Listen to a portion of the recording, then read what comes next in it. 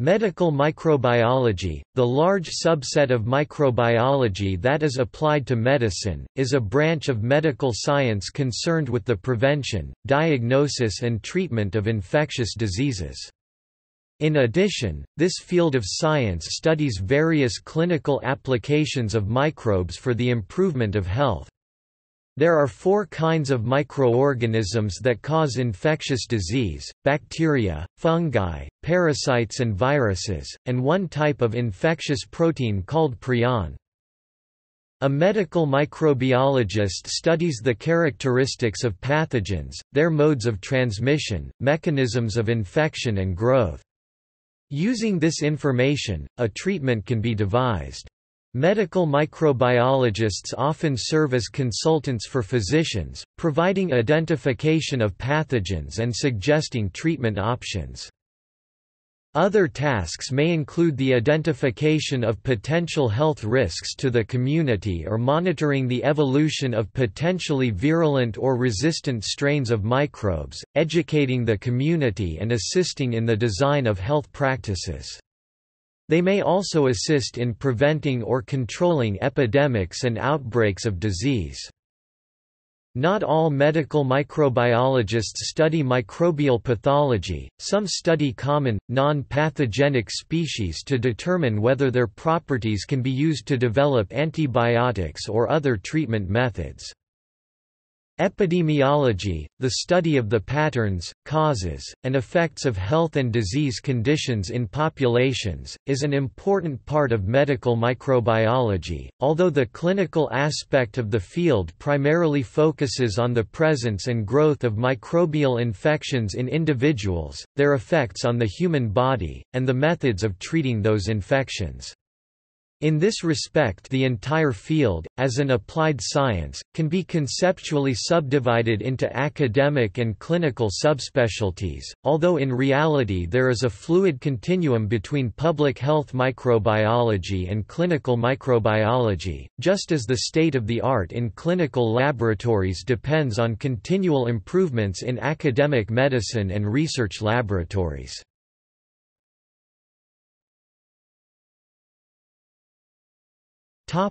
History In 1676, Anton van Leeuwenhoek observed bacteria and other microorganisms, using a single lens microscope of his own design. In 1796, Edward Jenner developed a method using cowpox to successfully immunize a child against smallpox. The same principles are used for developing vaccines today.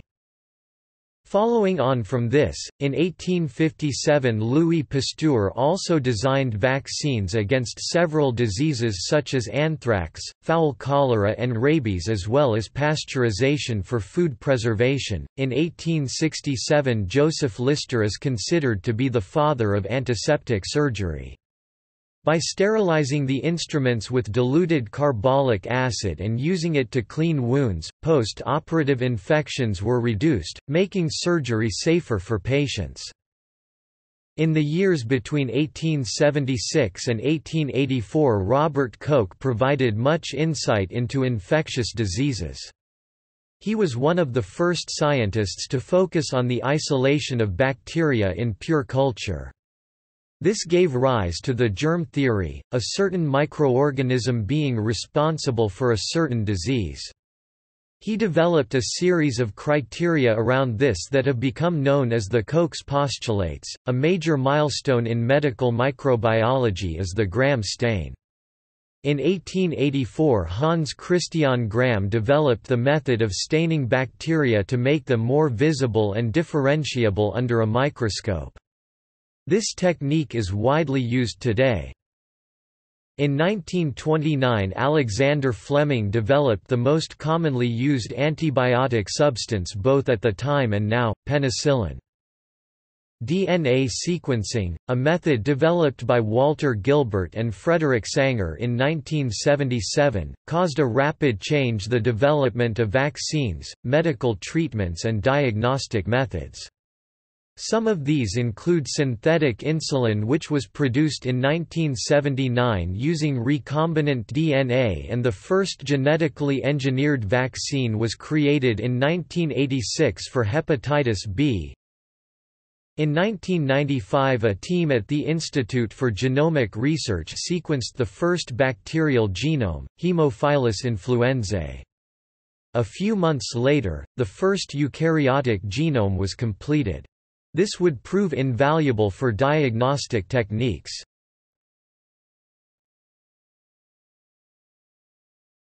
Topic: Commonly treated infectious diseases.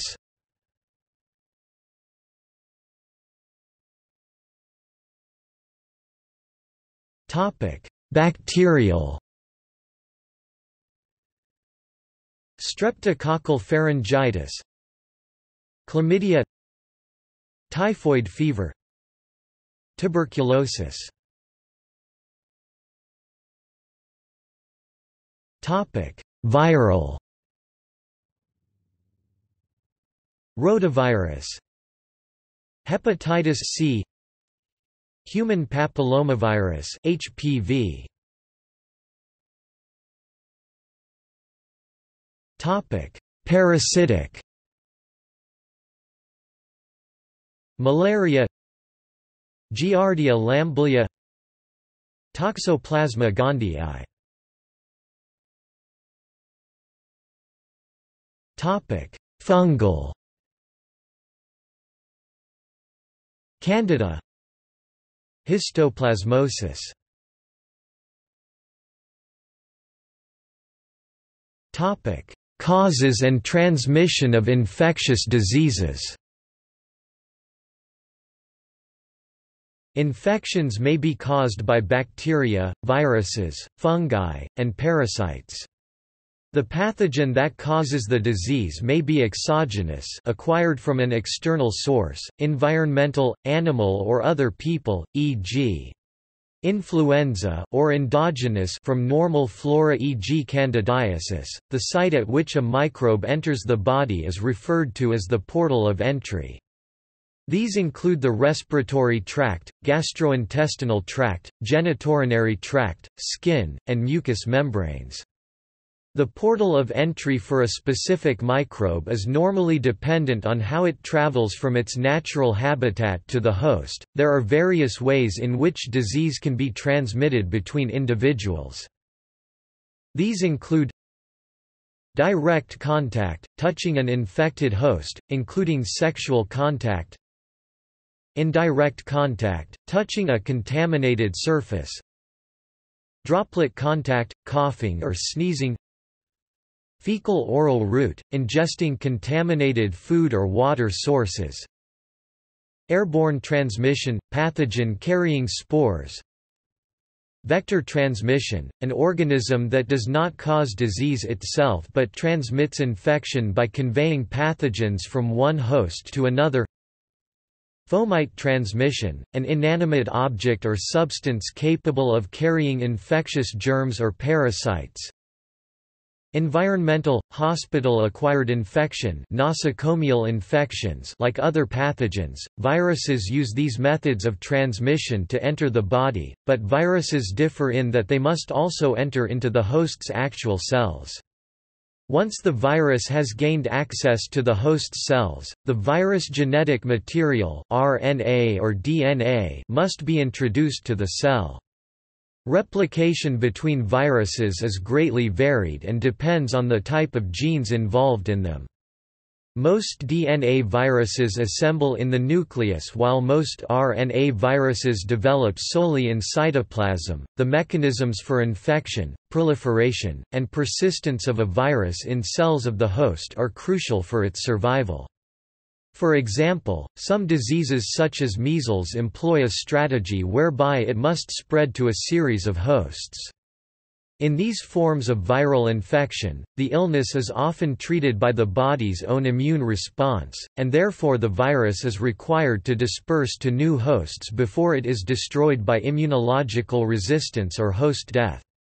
In contrast, some infectious agents such as the feline leukemia virus, are able to withstand immune responses and are capable of achieving long-term residence within an individual host, whilst also retaining the ability to spread into successive hosts.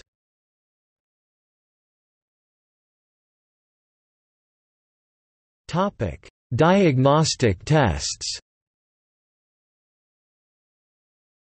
Identification of an infectious agent for a minor illness can be as simple as clinical presentation, such as gastrointestinal disease and skin infections. In order to make an educated estimate as to which microbe could be causing the disease, epidemiological factors need to be considered, such as the patient's likelihood of exposure to the suspected organism and the presence and prevalence of a microbial strain in a community. Diagnosis of infectious disease is nearly always initiated by consulting the patient's medical history and conducting a physical examination.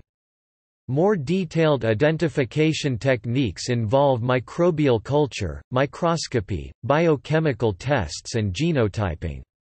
Other less common techniques such as X-rays, CAT scans, PET scans or NMR are used to produce images of internal abnormalities resulting from the growth of an infectious agent.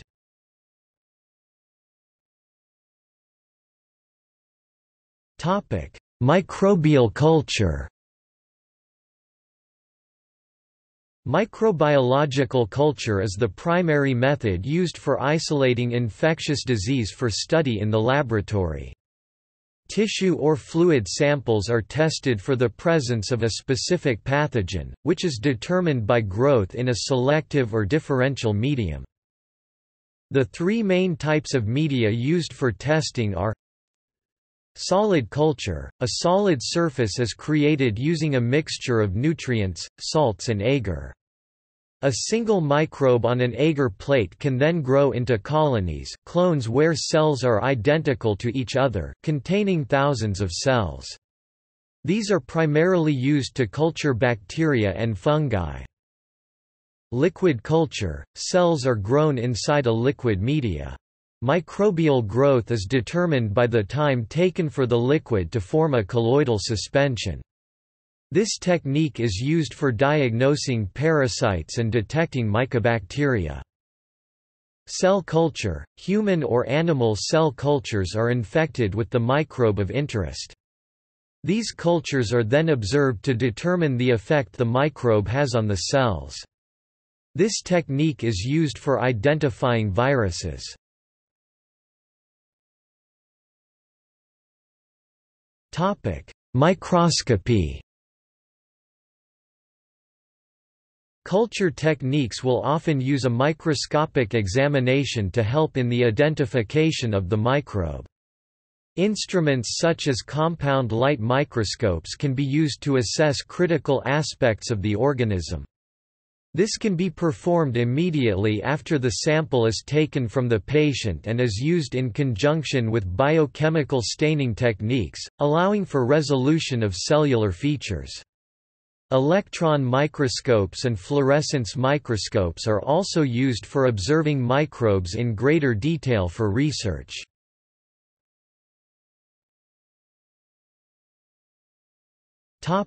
Biochemical tests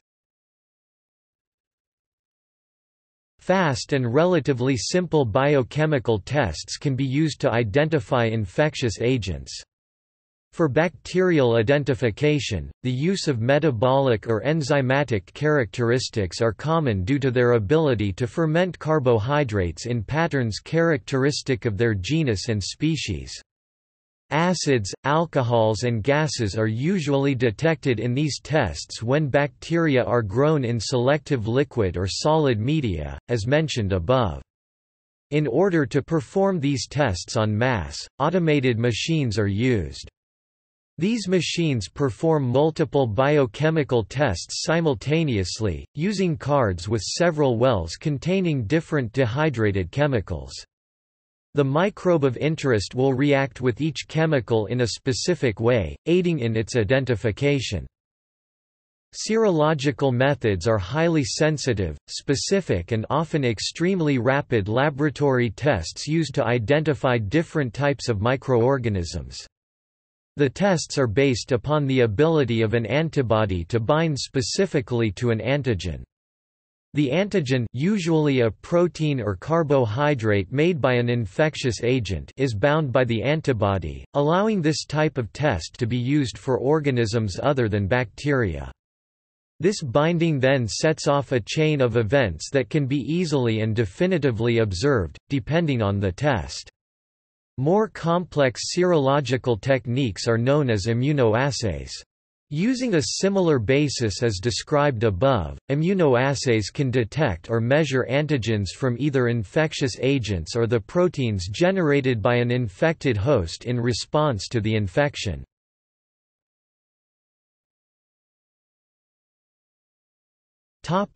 Polymerase chain reaction.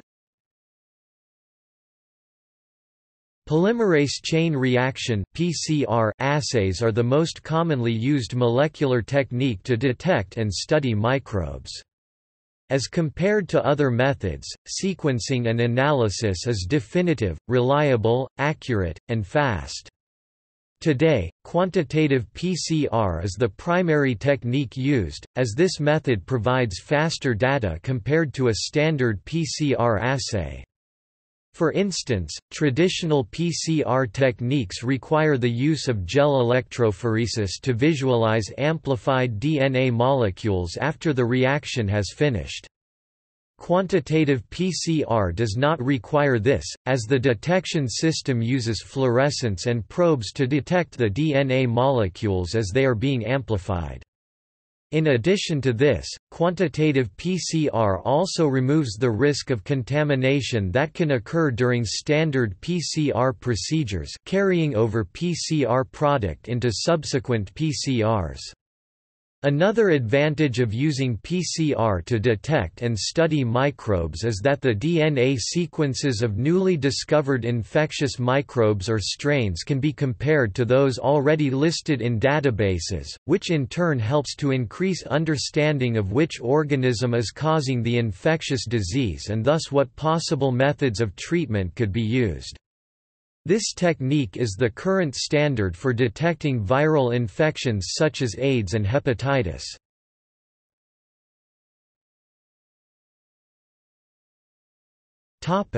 Treatments Once an infection has been diagnosed and identified, suitable treatment options must be assessed by the physician and consulting medical microbiologists. Some infections can be dealt with by the body's own immune system, but more serious infections are treated with antimicrobial drugs. Bacterial infections are treated with antibacterials often called antibiotics whereas fungal and viral infections are treated with antifungals and antivirals respectively. A broad class of drugs known as antiparasitics are used to treat parasitic diseases. Medical microbiologists often make treatment recommendations to the patient's physician based on the strain of microbe and its antibiotic resistances, the site of infection, the potential toxicity of antimicrobial drugs and any drug allergies the patient has. In addition to drugs being specific to a certain kind of organism bacteria, fungi, etc., some drugs are specific to a certain genus or species of organism, and will not work on other organisms. Because of this specificity, medical microbiologists must consider the effectiveness of certain antimicrobial drugs when making recommendations. Additionally, strains of an organism may be resistant to a certain drug or class of drug, even when it is typically effective against the species. These strains, termed resistant strains, present a serious public health concern of growing importance to the medical industry as the spread of antibiotic resistance worsens. Antimicrobial resistance is an increasingly problematic issue that leads to millions of deaths every year, whilst drug resistance typically involves microbes chemically inactivating an antimicrobial drug or a cell mechanically stopping the uptake of a drug. Another form of drug resistance can arise from the formation of biofilms. Some bacteria are able to form biofilms by adhering to surfaces on implanted devices such as catheters and prostheses and creating an extracellular matrix for other cells to adhere to. This provides them with a stable environment from which the bacteria can disperse and infect other parts of the host. Additionally, the extracellular matrix and dense outer layer of bacterial cells can protect the inner bacteria cells from antimicrobial drugs. Medical microbiology is not only about diagnosing and treating disease, it also involves the study of beneficial microbes. Microbes have been shown to be helpful in combating infectious disease and promoting health. Treatments can be developed from microbes, as demonstrated by Alexander Fleming's discovery of penicillin as well as the development of new antibiotics from the bacterial genus Streptomyces among many others. Not only are microorganisms a source of antibiotics but some may also act as probiotics to provide health benefits to the host, such as providing better gastrointestinal health or inhibiting pathogens.